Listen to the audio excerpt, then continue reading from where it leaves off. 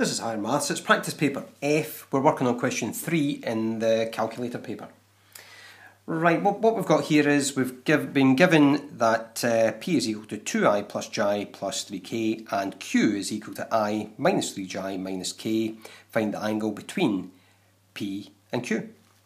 Okay, so vectors question here and we're given the vectors in the i, j, k format. So if you're not used to seeing that, what we'll do is we'll write down the vectors in component form so you can see what they are. So I've got 2 there, that'll be a 2, I've got 1 j, 1, and I've got 3 for k there. So there's a, there it is in component form for p. For q, if I write that in component form, I've got 1 for i minus 3, for j and minus 1 for k. And remember, if any of these uh, these are missing, it would be a, a, a value of 0 in component form that we would have to do from there. Right, so, so what we're doing here is we're trying to work out the angle that's going to be in between the vector p and the vector q. And remember the vectors are always pointing away from the angle that we're trying to work out. So from the vertex, the vector's pointing out the way, always. In this one, we don't need to do any work uh, to that extent. Right, so what I'm going to do next is I'm going to be writing down the formula to work out the angle between P and Q. And where I'd find that uh, formula would be on the formula list here.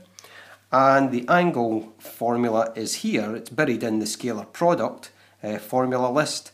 And in here, if I wanted to get cosine theta on its own, I would just divide each side by the magnitude of A and the magnitude of B. And that would leave me with cosine theta is equal to A dot B, or the scalar product on the top, and on the bottom it would be the magnitude of A times the magnitude of B.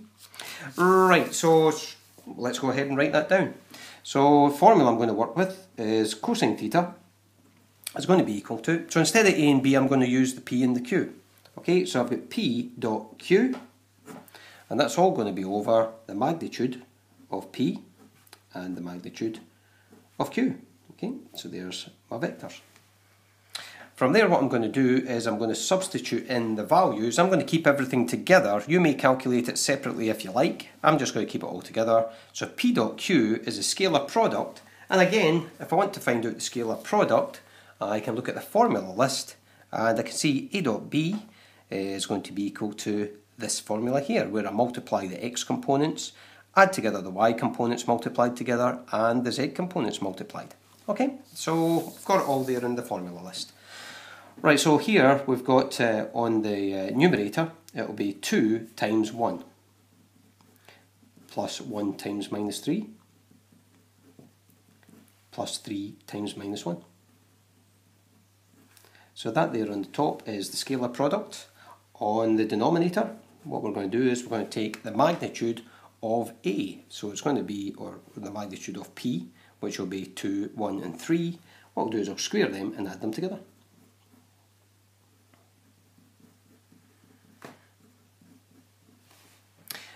On here, I'll do the magnitude, and in the formula list it would be B. Here we've got Q, so I'll go for 1 squared, plus minus 3 squared, plus minus 1 squared. Just be very careful with the negative signs here, and make sure that you're squaring out the negative, and then you're adding them up, okay? Right, so on the top there, I've got 2, I've got minus 3, and plus another minus 3, so that's going to give me minus 4 on the numerator. And on the denominator, what we've got there is we've got 4 plus 1 plus, uh, 9. 4 plus 1 plus 9 will give me square root of 14. And on this side here I've got 1 plus another 1 plus 9, so that's going to give me root 11. Yeah. Okay, so, so from there I've been working out what cosine theta is. From here I'm going to work out what uh, theta is on the calculator. So it's going to be cosine, the inverse cosine of, and what we'll go for is we'll go for minus 4. We'll just put the whole thing into the calculator, and that's going to be root 14, root 11, and we'll work that through on the calculator.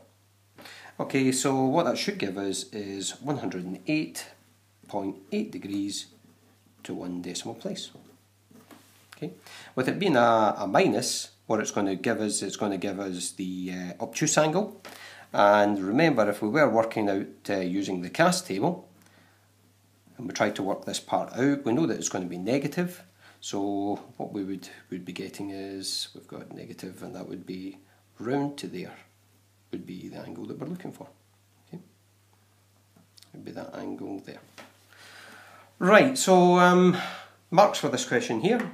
What we've got is, we've got one mark for setting up the, uh, the formula we could take the, uh, the vector straight from this format. We don't need to go to that format, but uh, got one mark for that. I'll take one mark for getting the scalar product on the numerator, one mark for each of these, and final mark for getting my angle that's there. So this question here, out of a total of five marks.